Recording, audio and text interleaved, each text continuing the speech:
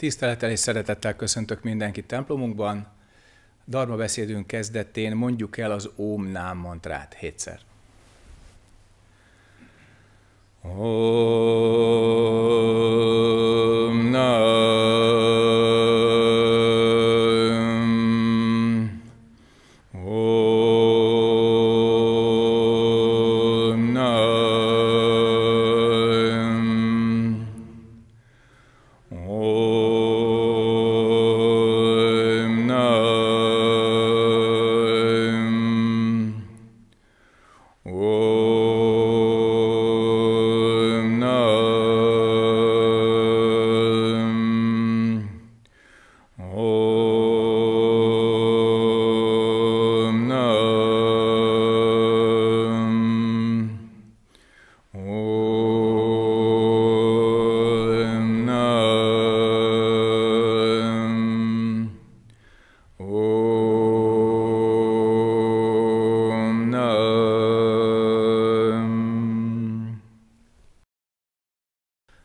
Szépen, megköszönöm Viki bevezetőjét.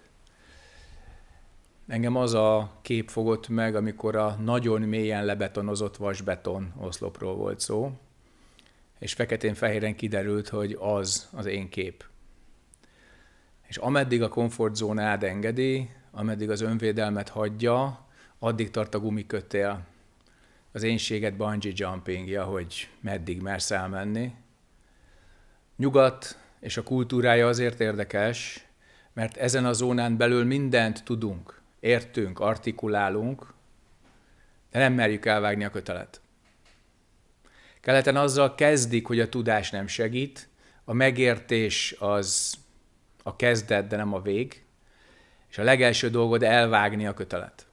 Vágd el azt a hamis önazonosságot, amely az önvalódat összetéveszti az önképeddel. És ez nyugaton szokatlan, és ezért van szükség olyan tanítókra, mint például Szungszánzen mester, és más hasonló nagy tiszteletű szerzetesek különböző hagyományokból, akik ezt az utat úgy közvetítik, hogy járható. Az útonjárás mindig kockázatos, mert változol. Viki beszélt arról, hogy ebben a térben mi minden van és mi minden történik, de valójában semmi nem történik rajtunk kívül. Tehát ami történik, az mi vagyunk. Feltettem magamban a kérdést Koreában sokszor, hogy miért kell ezeknek a templomoknak a világ legszebb helyén lenni, és a világ legszebb épületeinek lenni, és a legjobb ételnek ott lenni, és a legfantasztikusabb templomi etiketnek ott beállni. Miért? Egyszerűen azért, mert amikor meditáció közben te a saját poklaidon keresztül mész, és a tisztulásodat reméled valami bodhisattva segítségével, ezek az épületek, az emberek, az étkezés, a szállás mind egy lehetséges projekciós felület. Akire és amire rámutathatsz, hogy miattad van. Hogy én miattad érzem rosszul magam. Hogy ezért alszom rosszul. Hogy ezért borzasztó az életérzésem. Holott semmi más nem történik, mint változol, és ez a képzeletbeli gumikötél, ami az önképethez láncol, ez elkezd így foszladozni. És amikor egyszer csak szabad vagy, akkor az nagyon szokatlan. A szabadság akkor következik be, amikor belátod, hogy a személyed minden egyes darabja, karmája teremtett. Semmi nincs magadban, amit ne tudnál megváltoztatni, és semmi nincs magadban, amiért ne vállalhatnál felelősséget. Paradox módon ez a szabadság tudatával együtt jön el. És ahhoz, hogy ezt az utat járhassuk, ahhoz bizony szembe kell ülni azzal az interjú szobában, hogy nem tudod. Amíg valamit tudsz fixa ideaként, abszolút értékűnek kikiáltott ismeretként, addig a vasbeton oszlophoz vagy láncolva. A változtathatatlan ön- és világkép kötelékében vagy.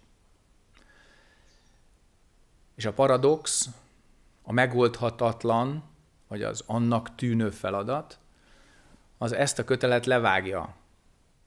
Hogy kellemes vagy kellemetlen, az mellékes. Ezért jöttél ide. Azért jöttél, hogy megszabadulj, és segíts másokat is megszabadítani, és innentől kezdve a személyiséget, teremtettségét, az általunk létrehozott voltát, a te személyes szabadságodat és felelősségedet nem lehet takargatni. Ez különösen egy olyan kultúrában, mint a nyugati, elképesztően nehéz feladat. Akár materiális, akár teológikus nézeteket vallunk, valahol a felelősség kívül van akár fönt az égben, ilyennek teremtettem én, akár a világban, hogy a materiális és pszichológiai körülmények miatt vagyok én olyan, amilyen. Az ártatlannak és világosnak tűnő tanítása a buddha természetről az elején nagyon-nagyon egy kis simogatós zen ovinak tűnik, hogy neked is, neked is, neked is, neked is, és mindannyiunknak van buddha természete, és mindannyian el tudjuk érni a felébredést, és potenciálisan mindannyian buddhák és bodhisattvák vagyunk, csak az a kis karma van még az útban, amit, hogyha eltakarítunk, minden rendben, ugye? És ez a legszomorúbb dolog, hogy ez tényleg így is van. A második nagy realizáció, amikor belül te ezt elkezded, és rájössz, hogy valójában miről van szó, amely nem a megtagadása vagy megfordulása a mondat eredeti értelmének, hanem sokkal inkább annak a kiteljesítése.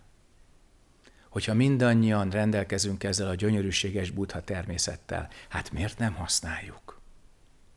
Mert ha használnánk, akkor esetleg tisztán látnánk, tisztán hallanánk, tisztán gondolkodnánk, tisztán éreznénk és a megszabadulás a felelősségvállalással együtt járna.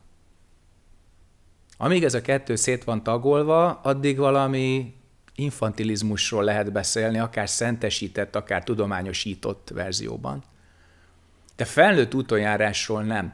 Mikor nyerjük el felnőtt mi voltunkat szellemileg, emberileg egyaránt? Amikor a teremtő képességünket visszanyerjük, amely mindig is ott volt.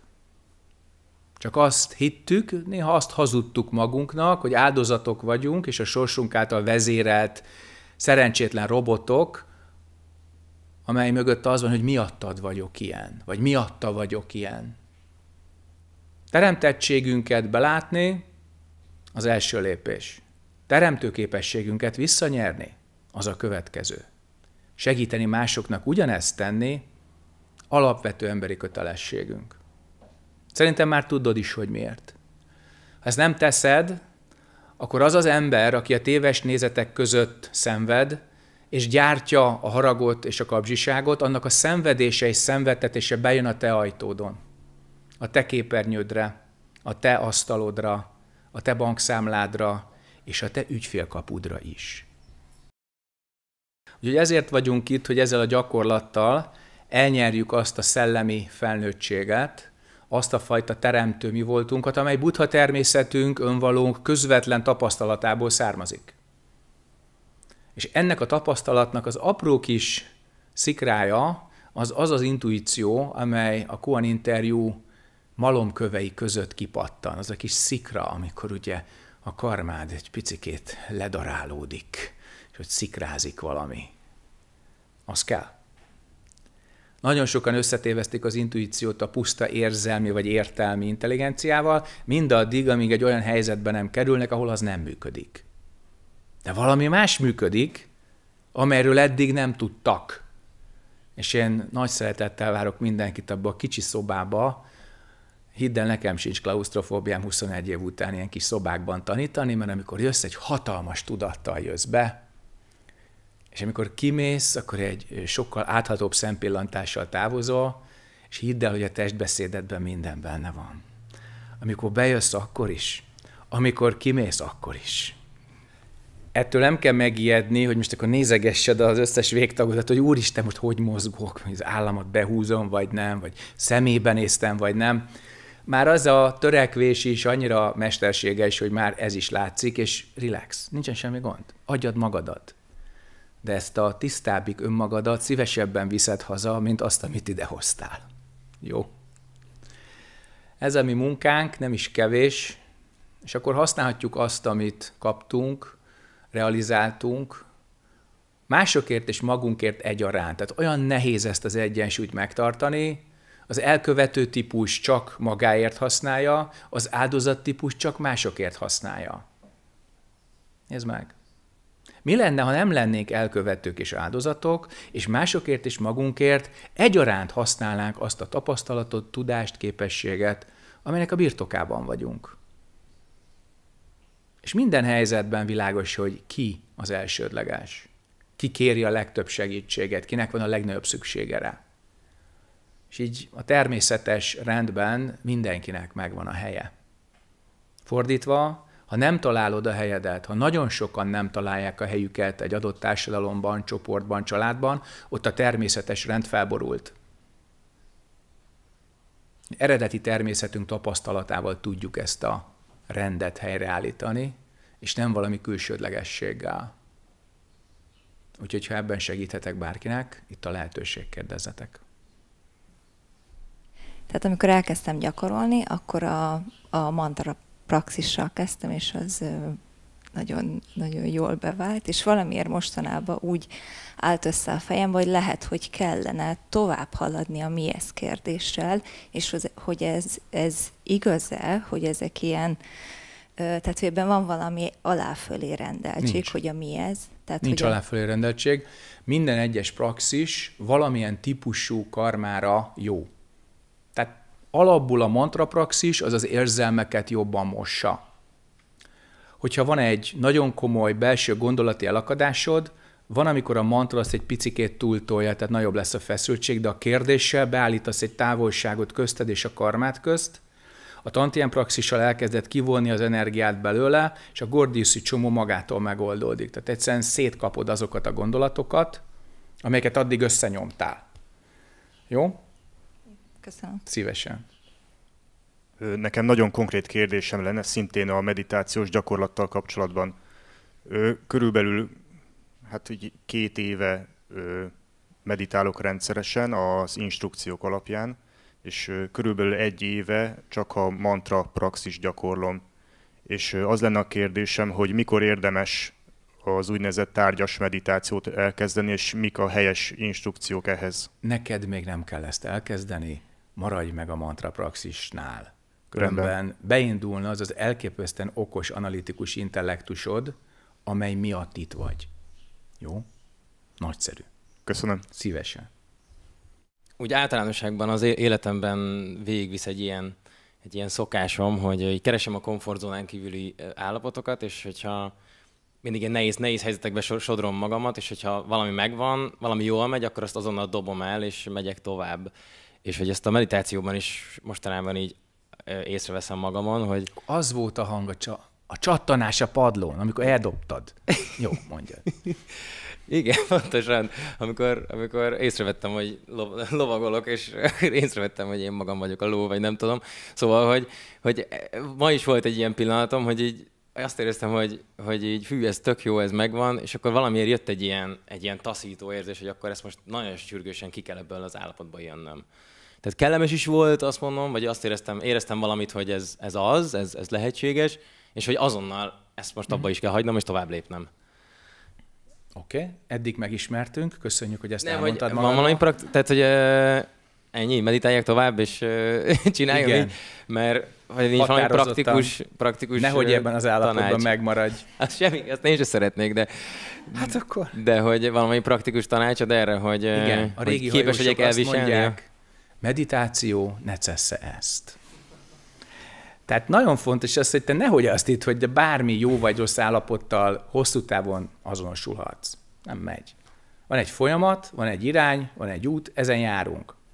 És megtanuljuk aztán megtartani azt, ami tényleg hozzánk tartozik, ami tényleg a személyiségünknek ugye a tartós része.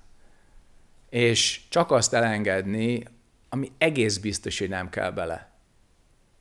Ilyenkor van egy ellenőrző kérdés. Ránézel az adott karmára, és megkérdezed, ezt szeretném a következő életemben viszont látni magamban?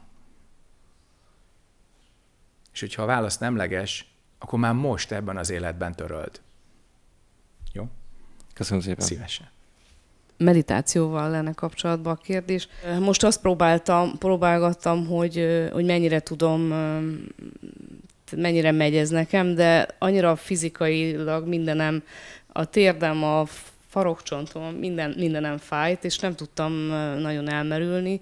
És vannak időszakok, amikor kicsit jobban sikerül, és főleg abba mentem be, abban a meditációban még a múltkor, amikor itt jártam, hogy, hogy a madárhangokra próbáltam figyelni. Az és nagyon jó. És hogy a madárhangokkal próbáltam egyé válni, és ez nagyon sokszor sikerül is, de hogy itt most az imént elhangzott, hogy nem annyira jó dolog, nem? Azt te neved magadra, jó. az a más ember problémája, más... nem a jó. tied.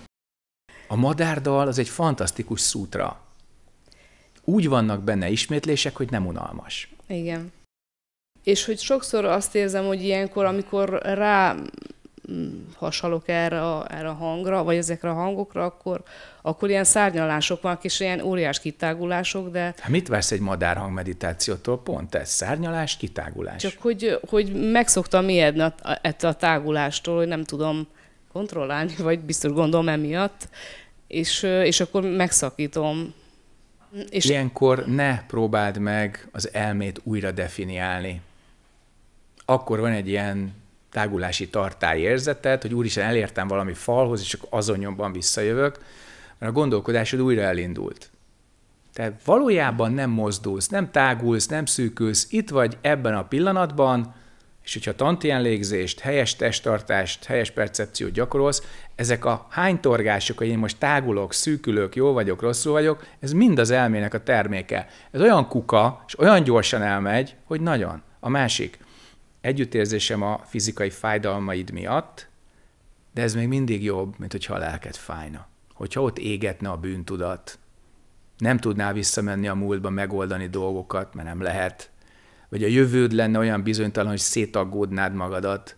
Tehát az, hogy fizikai fájdalom, uramisten, másképp ülsz, ha kell, széken, ha kell, plusz vánkoson, ez nagyon könnyen orvosolható.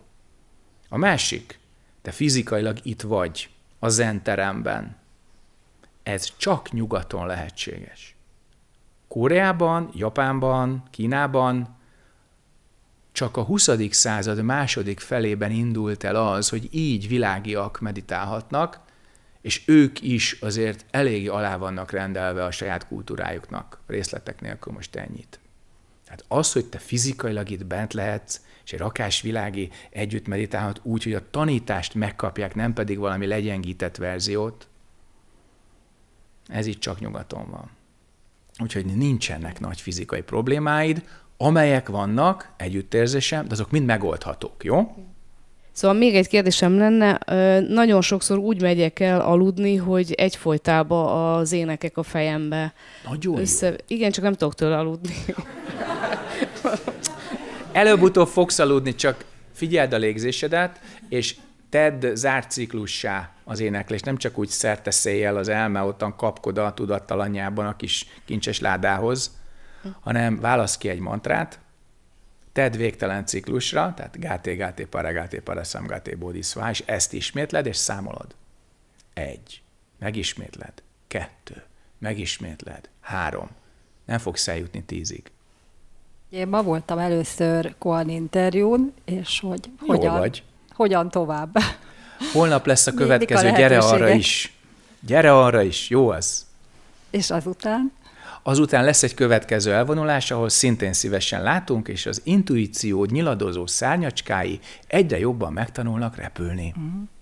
Akkor elvonulásokra kell jönnöm, és akkor...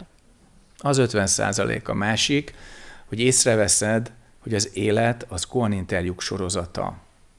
És úgy nézed, hogy vállalod azt a paradoxont, azt az ellentmondás gyűjteményt, amely az életben benne van, csak megpróbáljuk legyengíteni, és ezért nem élünk teljes életet. És hogyha elkezdesz onnan válaszolni az élet koan kérdéseire, ahonnan a helyes válaszok jöttek az interjú szobában, akkor kezdesz másképp élni.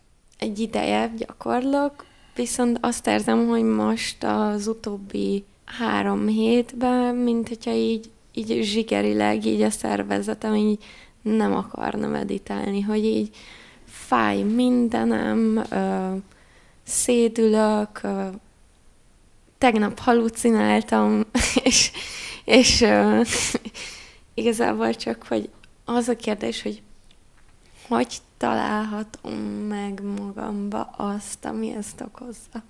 Úgy, hogy nem meditálsz. Mert hogyha meditálnál, akkor ezektől a tünetektől nagyon hamar megszabadulnál, de én azt javaslom, hogy ilyen kétségek között ezt ne tedd. És akkor a karmád úgy rád dől, hogy az valami hihetetlen, és akkor viszont meglátod, hogy mi az. És akkor utána megköszönöd, hogy a meditáció, mint eszközrendszer a birtokodban van, és újra elkezded. De a kettő között így ingadozni, és tilitolizni, és egyeket, és akkor e között ugye a szívünk darabokra megy, ezt nem. Tehát itt neked, amilyen elképesztően kifinomult a lényed, csak árnyalatokban tudsz gondolkodni. De itt most kőkemény fekete-fehérben kell. Csinálom, vagy nem? És most ne csináld. Most ne meditálj Semmit az égvilágon, és nézd meg, hogy a karmát hogyan viselkedik. És akkor majd utána. Amikor száz százalékig azt akarod, hogy igen. Néha csak pihennünk kell. Ez elég. Teszel egy körsétát. Akkor jobb, hogyha mondjuk inkább a mandrázással foglalkozok, vagy a leborulással? Hát akkor most, kedves tanítványom, szeretnél meditálni, vagy sem? Ez döntsd el, mert ha igen, én elmondok neked mindent a mantra praxisról. De ha nem, akkor nem. Vannak olyan gyakorlók, akik kihagyják ezt a formát? Én olyan a gyakorlót nem találtam, aki a mantra praxis ne Nem úgy értem, hanem a, magáévá. a meditációt. Hogy, hogy azt bárki kihagyja, vagy hogy, hogy Én lehet... még ilyet sem láttam, hogy bárki ja. kihagyta volna. Olyat láttam, hogy nagyon sokat énekelte a mantrát, és utána mondjuk belül a kérdéssel dolgozott, de én neked azt javaslom, hogy figyeld egy ideig a madarak énekét, ahogy ezt hallottad. Nagyon jó. Sétálva is odakint, meg itt bent ülve. Nagyon jó a térés a hang felfogása, mert az elme egy idő után megtanul megnyugodni. Ez is tanulható, ez is szokás kérdése, hogy állandóan szétütöm magam, felizgatom magam, darabokra szedem magam, különböző állapotokba belehajszolom magam, hogy megtanulom azt, hogy itt legyek középen, világosan, nyugton, egyben. Kész. Ez tanulható. Elsajátítható. Picit ehhez kapcsolódnék így a szívcsakrához, mert korábbi tapasztalataim alapján megéltem azt, hogy szívcsakrán keresztül is így megnyílt bennem az univerzum, vagy nem tudom, hogy fogalmazza. Alsó tantiem praxisnál ugye pont az lenne a lényeg, hogy levigyük a, az energiát a szívcsakrából, illetve föntről. Szeretnék egy megértést ö, kapni erről, hogy hogy működik. Ezt így mondjuk, és így csináljuk, de az nem jelenti azt, hogy hirtelen a felső csakrák kifogynak a csíből. Tehát elmegy a pránaos szervusz, nem tudsz gondolkodni, beszélni vagy érezni. Itt arról szól a dolog, hogy a fának a gyökerét kell megerősíteni. Ha jön egy olyan vihar, ami a fa leveleit, ágait, vastagabb részét letördeli, a fa túl tudja élni. De ha tövestől kicsavarja, akkor vége van. Hát itt van az a gyökérzet, az az elképesztő kapcsolódási pont az univerzumhoz, ahonnan az alapvető energiánkat nyerjük. Ez a köldök csakrának a sajátja. Az emberek többsége ezt nem is érzékeli. Esetleg mozgás, sport, egyebek közben, amikor a felső hármat elnyomja a fizikai igénybevétel, és a lélegzet során, hogy itt mi történik tantiemben, az így elkezdik tapasztalni. Valójában az történik, hogy ezt az utasítást követve, a tantienre fókuszálva, beindul a mikrokozmikus energiakör a helyes irányban, itt elől lefelé, és ettől néha, hogyha beáll a harmónia, olyan érzésed van, mint hogyha egy ilyen nagyon-nagyon finoman kivajazott tepsi lennél, amiben éppen a világ legfinomabb sütőjét sütik. És ez egy fantasztikus jó érzés tud lenni. Nagyobb karmacsomók nincsenek, a folyam szépen megy, és nem visszafelé, fölfelé, hogy agyvérzést kapjál, vagy szívinfarktust, ugye? Ez a leborulás is nagyon jó előgyakorlat, és a mantra praxis is. És amikor ülésben azt mondjuk, hogy fókuszálja a tantiára, az gyakorlatilag azt jelenti, hogy maradja a pillanatban, nem állítjuk le ezt az energiakört, nem lesz forgalmi dugó egyik csakrában sem, és így a harmónia, az egyesített energia, koreaiul hapki, japánul aiki, az beáll. Úgyhogy ez egy nagyobb egész része, és annyit tudj, hogy keleten nem mondták el a rendszert. Itt nyugaton kell elmondani a rendszert, hogy a te gyönyörűséges, kíváncsi, modelláló intellektusod megértse azelőtt, hogy csinálna bármit is. Én egyébként nem ebből vagyok összerakva, talán ezért is sikerült viszonylag fiatalon kijutni oda, mert engem az első lépés érdekelt, az irány érdekelt, a tanítás és a tanító érdekelt, és nem az, hogy egy olyan rendszerszerű képet alkossak róla, amelyről már a kezdetben tudom, hogy csak modell, és nem a valóság. Magyarul nem fog megfelelni pont a megjósolhatatlan, elképesztően válságos pillanatokban, mert a gondolkodás nem segít, és a rendszerek összeomlanak, azért van válság. Hát engem a tapasztalat érdekelt egy olyan környezetben, egy olyan tanító vezetése által, akiben százezer százalékig megbíztam, megbízok, és meg is fogok bízni. Ez a bizalom az, ami a helyes kötődés a tanítóhoz. És innentől kezdve az az út, amit ő követett, számomra követhetővé vált, a balesetek az enyémek, az útirány az övé. Nagyon jól el kell választani itt a darmát és a karmát. Innentől kezdve van dolgunk. Nagyon jó dolgunk, mert nem gondoljuk túl, de az elme azt teszi a dolgát, az szolgál, az fogalmaz, az megkülönböztet, az emlékezik, de nem akarja úgy leképezni az egészet, hogy ő előre tudjon és megjósoljon mindent. Mert nem lehet. Nem azért, mert ez bárkinek probléma, hanem azért, mert lehetetlen. Nézd meg a térképet, meg a tájat. Nem a térképen mész. A tájon mész. Nem a szakácskönyvet teszed be a sütőbe, hanem a tepsit a nyersanyaggal. Nem a használati utasítást kapcsolod be, hanem a berendezést. És érdemes tudni róla, de tudván, hogy ez a tudás részleges, a tapasztalat elsődleges lesz, ha annak az iránya megbízható, és az eredmény valahol látszik. Egy árva szót nem értettem több mint 30 éve a mantrákból, csak azt láttam, hogy akik naponta vagy hetente rendszeresen ezt éneklik, olyan nyugodtak. Hát ha ez őket így megnyugtatja, akkor majd engem is megfog. Ennyire egyszerű tud lenni. Tehát amikor az első lépést elmondjuk, hogy fókuszálj a tantienre, amögött ott van a teljes rendszer, ami működik, csak egyrészt nyugaton nem mondjuk el az egészet egyszerre, szépen fokozatosan, mert itt homlokcsakrában leképezni, és azt hiszi, hogy tudja. Nem tudja, csak azt képzeli, hogy tudja. Nincs mögötte tapasztalat.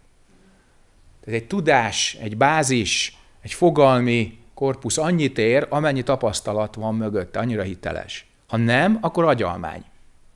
És ezért nagyon fontos, hogy ahogy mondtad, jó hiszem ezt megcsináljuk, tudjuk azt, hogy egy hatalmas rendszer és működés van mögötte, de csak annyit akarsz tudni, amely épp most a gyakorlatodhoz kell. És a gyakorlatod haladásának a függvényében kapod a további tudást. Jó? A második kérdésem az ajna csakrával kapcsolatban lenne, tehát a az homlok... melyik? Hát itt a harmadik szem, vagy homlok csakra, igen, hogy ha jól értem, hogy a joga hagyományban a buddhit ide helyezik, tehát hogy a magának a, hogy a buddhi jelképezi ezt a belső, számomra ez a, ugyanaz, mint a tiszta tudat, amiről... Kicsit ezért a többiek kedvére árnyaljuk ezt. A buddhi, kérem szépen, az elmének az a része, amely a transzcendens tapasztalat által így az önvalónak a nagykövete a lelkedben. Tehát az a fajta működés, amely mindig fölfelé visz, mert valahogy az önvaló fénye már rajta van az elmédnek ezen a részén. És akinek az elméjét teljesen áthatotta ez az élmény, az az életét bódhiszatvaként éli. Nagyon fontos. Mert a puszta gondolkodás az nagyon horizontális, vagy max 3D. De az, hogy te tényleg meghalad, az a tapasztalatot integrálni kell a személyiségedbe, és hogy ezt az elején mondtam, a buddhi az elmédnek az a része, ami az önvalónak a nagykövete az önképedben, a te személyiségedben. Jó? Folytasd. Amikor a buddhi felébred, az hogy, hogyan kapcsolódik? Tehát, hogy ha jól gondolom, vagy jól érzékelem, hogy akkor az, az valami olyasmit jelent, hogy amikor tisztán megnyílik a homlokcsakra, tehát nem csak gondolatok vannak, és valahogy összekapcsolódik az alsó tantiennel. Én, én nekem ez az érzésem vagy tapasztalatom, hogy akkor így valahogy tényleg beindul ez, a, ez az energiáramlás, és hogy tehát próbálom összerakni a két, ne ragd össze, két tanítást. Ne ragd, ne, ne ragd össze a két tanítást. Nem. Mind a kettő szuverén hagyomány, az egyik így működik, a másik úgy működik, egy bizonyos transzcendens ponton találkoznak, de aggyal ne ragd össze a kettőt, mert kutyulmány lesz belőle. Tehát mindegyik hagyomány teljes, mindegyiknek az eszközrendszere elégséges, és ezt nem kell tovább ragoznunk, mert az intellektusod itt felesleges munkát végez, nem kell összerakni a kettőt. Gyakorolj.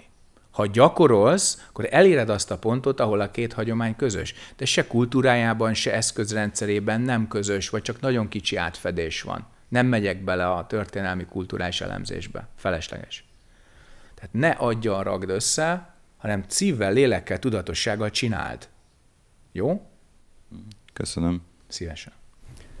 Hallhattunk olyat is, hogy a gondolatainkkal teremtjük a világot, és az ember pedig azt tanultuk, hogy tudatunk teremti a világot, hogyha meg akarjuk ismerni a buták birodalmát, vagy világát, akkor tekintsünk úgy rá, mint amit egyedül a tudat teremt.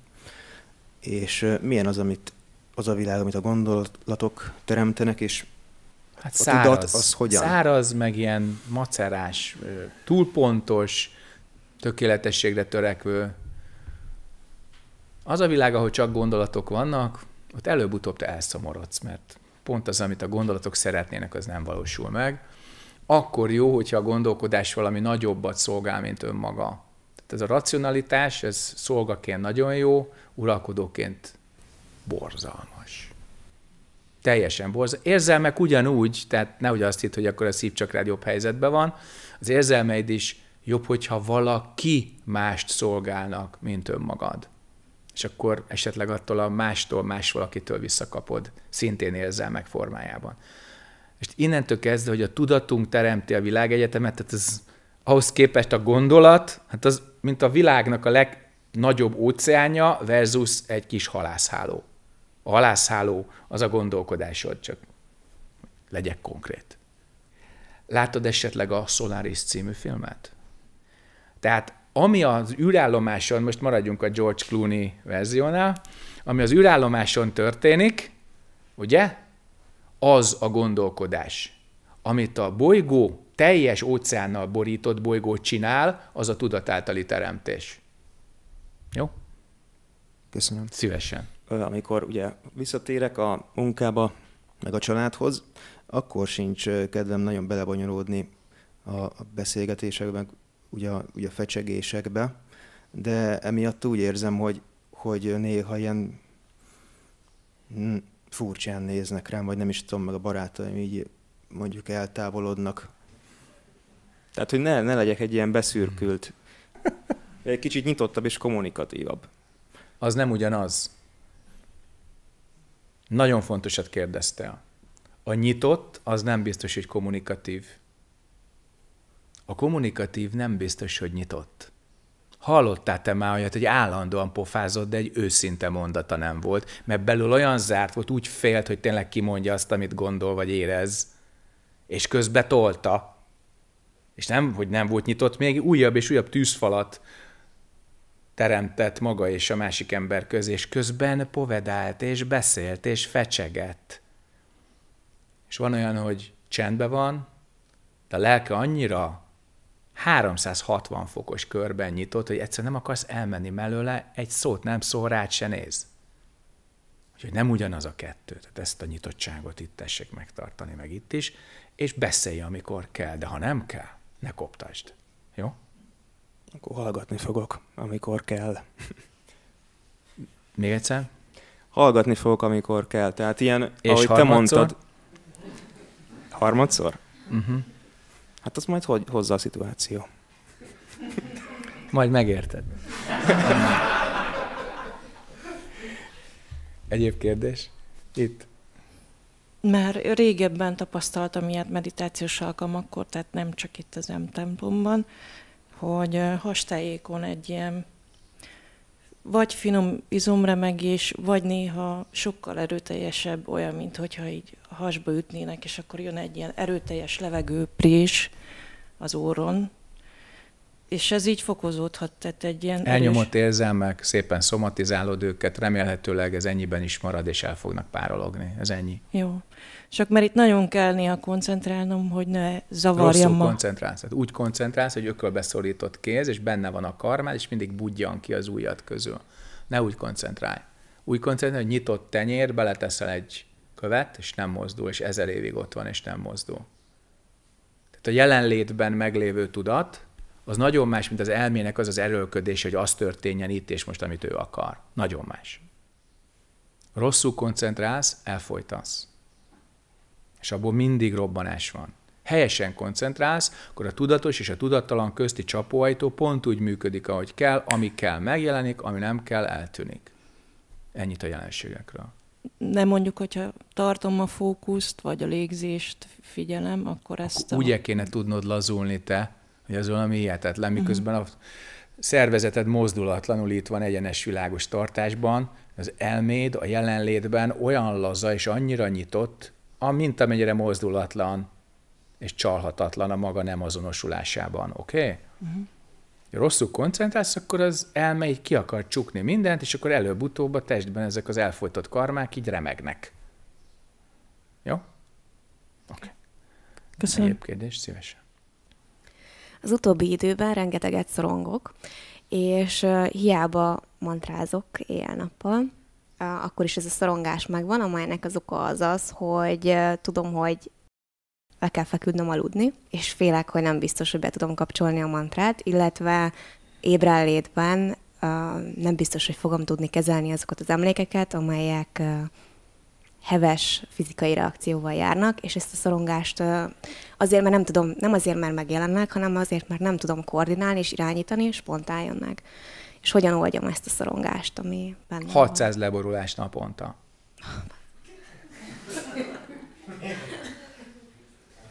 Egyéb kérdés? Köszönöm. Szívesen. A meditációs gyakorlatról szeretnék kérdezni, méghozzá arról, hogy hosszú távú meditációs gyakorlat. Jól hangzik. Ami akár éveken át is történik. Általában tantien fókuszra, fókusszal meditálok. Nekem az vált be a legjobban. Ha nagyon szétesni készülök, akkor figyelem a hangokat magam körül. Viszont szinte egyáltalán nem használom a mantrás meditációs formát. Illetve, ha használom azt, akkor ilyen sétáló meditációban, túra közben, erdőben, természetben. De azt a legritkábban, mert hogy általában, ha, ha erdőben vagyok, és ott nagyon szeretném használni ezt a meditációs formát, akkor én általában um, nagyon kell figyelnem arra, hogy éppen hol vagyunk, tehát nem nehezen tudok egy mantrára koncentrálni járás közben. Amit pedig ezzel kérdezni szeretnék, az az, hogy a három meditációs gyakorlat közül, ha egy jelen esetben a mantra szinte teljesen kimarad, az okozhat-e gondot? Nem maradhat teljesen ki, hiszen ma is énekeltél itten közösen Igen. mindannyiunkkal. Tehát az, hogy te hangosan mantrázol csak és csak is, az teljesen jó. Elmondok egy műhelytitkot. Ugye Koreában a szerzetesek így szépen évek szerint, mint egy kis órarend, keresztül mennek a szolgálati éveken, a szutra tanulós éveken, a ceremóniás éveken, amikor nagyon sokat énekelnek, és hogyha tényleg nagyon zenkarmájuk van, akkor eltelik 5-10 év, és beülnek az enterembe, és ott már viszont nincs mantra praxis. Tehát annyira érzékenyek, és olyan a tér, annyira rezzenetlen, hogyha valaki megérzi a másik szerzetesen, hogy mantrázik belül, akkor azt mondja, hogy ezt légy szíves, hagyd abba, ezt te megcsináltad a ceremónia terembe. Itt maradjak vadunál, maradjak kérdésednél. Úgyhogy ez egy nagyon érdekes dolog, mert annyira intenzív tud lenni, hogy egyes tudatokat így, így elkezd berezdíteni, sőt a teret is berezdíti. Ez az a fajta jelenlét, ami nagyon jól is tud esni, de ha valaki ott ül a nirvanisztikus mozdulatlanság, mert olyan, mint hogyha egy rádióadás üvöltene. Úgyhogy nincs ezzel semmi baj. A hangos mantrázással az a szépen gördülje előre, mint mindenki más, és az elégséges. Nem kell belül itt állandóan mondogatni. Zsú, ez most tényleg annyira hangsúlyos, én ezt, amikor ezt hallottam koreai szerzetesektől, hogy ledöbbentem, és hirtelen elkezdtem figyelni az enteremben sokkal jobban. És amikor ezt a frekit megérzi az ember, hogy itt valójában mit kell csendben hagyni, és nem elkezdeni rezíteni, akkor leborulsz a zen kultúra maradványa előtt, mert már sajnos csak maradvány van, hogy ez milyen lehetett azért a fénykorban. Tehát ez, ez elképesztő. Jó? Tessék? A Krisztinának javasoltad a 600 leborulást, az legalább egy óra, hogy azt Több. hogy osszabb be, mert engem is érdekelne. Neked nem javaslok 600 leborulást. Nem? nem. Egyáltalán nem. Ez személyre szabott. Aha. Mondd, hogy valójában mit szeretnél kérdezni a saját karmádról per gyakorlatodról, és akkor arra adok egy közvetlen olyan választ, ami neked szól. Hajrá. Értem. Hát most nincs olyan kérdésem. Én minden nap megcsinálom, majdnem minden Más nap gyógyszerét nem vesszük be, más lábeléjében nem bújunk Értem. bele. Értem. Tehát ilyet nem csinálunk, hogy jaj, hát azt mondta a szunim neki, hogy 600 leborulás, ezt én is megcsinálom, azt jó lesz. Nem, nem, ez nem így megy. Értem. Ez úgy megy, hogy van egy adott tanító-tanítványi kapcsolat, elkezdjük megismerni a karmát, illetve a darmát, és akkor ebből ő pontosan tudja, hogy mit kell csinálni, és mit nem kell csinálni, és ez az, amit hallottál, nem több, nem kevesebb. De az ékszerelmére ne vegyük be más gyógyszerét, és ne aludjunk más ágyneműjével, mert nem lesz jó. Oké? Okay? Köszönöm szépen. Szívesen. Koan interjúval kapcsolatban szeretném, hogy ugye úgy megyek be, hogy van egy házi feladatom, és mégis az van, hogy ott kapok hirtelen egy új ismeretlent. És hogy ez... Ezt nagyon jól mondod. Hirtelen kapsz egy új ismeretlent. Bejön egy az ko... ajtón, és nem tudod, hogy kicsoda. Igen? Nem. De hogy ez, ez miért van? Érted. Ez csak érted van. De csak... Azért. Nem csak úgy jössz be, hogy ott a házi feladatod, az hagyján. De úgy jössz be, hogy tudod a házi feladatodról, hogy megoldottad vagy sem, és a legelső nagy szembesülés az, hogy valami teljesen mást kapsz tőlem, mint amit elgondoltál. Hát Ez az első ismeretlen. A legtöbbször úgy megyek be, hogy nem oldottam meg, tehát azért házi feladat. Teljesen hogy... nagy hiba. Tehát ne degradáljad itt hát. magadat. Itt az van, hogy összegyűjtöttünk ugye jelentős helyzeti energiát azzal, hogy meditáltunk, mint a kis angyal, és úgy gyere be az interjúszobába, hogy nincs meg az, hogy tudod vagy nem tudod. Minden, amit szikraként kipattogzott a homloklebenyedben a kérdés hatására, azt a polcra teszed. És az adott pillanatban az intuitív tudatod majd választ, lehet, hogy valami teljesen újat fogsz a térben prezentálni, és nem fogsz hozott anyagból dolgozni. Általában hozott anyagból nem megy. Mert amit te az elmével szépen kiköpülsz a meditációs pán, az a legritkábban jó. Tehát úgy gyere be, hogy nincs meg azt, hogy tudom vagy nem tudom, de ott vagyok, és szembenézek ezzel az emmesterrel, és hogy csak meg akar ütni, én visszaütök. És én olyan félelmetesen cselekvőképes leszek, meg szellemileg önálló, hogy az autonómiámat senki ne vonja kétségbe. Na hát így kell bejönni, kérem, majd ez is bukni fog, így. Ez, ez is jó. Így. Ez mindig bukik egyébként. Örülj neki. Nekem is bukott évekig, és most pedig egész más folyamat van mint tanító elmondhatom, hogy a legnagyobb öröm az, amikor átmész a Kuanon, mert te mentél át. Soha nem kapsz annyi segítséget, hogy attól átmenj. Az te vagy. Úgyhogy tessék dolgozni. Akkor így még mindig Kuan, és akkor a végén Azt miért? szeretem, mondjad. Én is nagyon. Biztos? Nem. Néha nem úgy tűnik. Tehát pont ez, hogy a, ugye a végén úgy jövök ki legtöbbször, hiába mondjuk sikerült egy, de ugye kapom a következőt. Mindig. És az nem. Boom. Igen. És hogy úgy jövök ki, hogy teljesen ilyen, tehát felindultan, érzelmileg, ilyen, úgy. ilyen dühösen, és, úgy. és pedig, hogy nem bántottál, tehát nem mondtál úgy semmi rosszat, meg semmi, csak hogy nem sikerült, és de mégis úgy jövök ki, hogy, hogy a francba. Pedig tudom, hogy ez nem így kellene, tehát hogy ezt is így el kellene engedni, és el is kell engedni, hogy tehát nincs jó és rossz, hogy most sikerül bennem. Hogy ez... van. Aki gondolod, akkor az úgy ott van te, hogy nagyon konkrét. Magyarul és... ne gondolkodj a saját praxisodról, egy elképesztően jó szándékú és jól elemző intellektusod van, de ha beleszakadsz ilyen érzelmi akadályokba, hogy most megint nem tudtam, és ebből önkép van, az mindig negatív. Ezt ne tedd magaddal. Tehát nem tudom, és kész. Tehát a buddha természeted az nem több vagy kevesebb attól, hogy tudsz egy koan megoldást, vagy sem. Ez egyébként azért fontos, mert mondjuk a tények birtokában mások véleményével szemben egy kicsikét ellenállóbb leszel.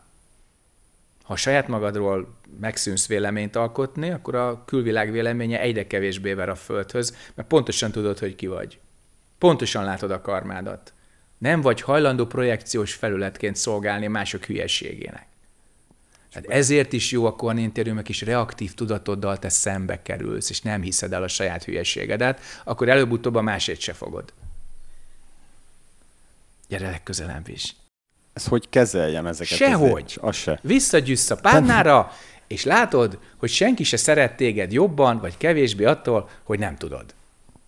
A madarak ugyanúgy csivitelnek, az étel ugyanúgy megjön a harangszó után, és te neked ugyanúgy az a dolgod, hogy gyakoroljál, tisztuljál, és gyere be a következő interjúra, ahol megint vagy korrekt lesz, vagy nem lesz korrekt, de mindenképp házi feladattal jössz ki.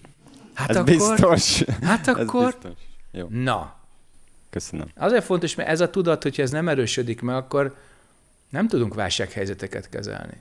Tehát a Quant Praxis egy olyan elképesztően jól tervezett válság, amiben meg tudsz erősödni, le tudsz tisztulni, annélkül, hogy egy rusnya nagy egót gyártanál rá. Van, aki megteszi, de az általában lepattan a Quant Praxisra, mert azt mondta, hogy én nekem ez már megy. Én ezt már tudom, sőt, én ezt még jobban is tudom, mint a tanítom, úgyhogy vissza sem megyek hozzá, mert olyan kopasz, meg unalmas, meg üt, meg ilyen bajaim vannak vele. Meg nem válaszol a kérdésémre, ez a halálom. Érted? Amikor arról szól a dolog, hogy te kitartó leszel, és a saját elmédnek az illúzióit nem hiszed el, akkor kezdesz nőni az úton, tényleg járni az úton, és egy kicsit erősebbnek lenni.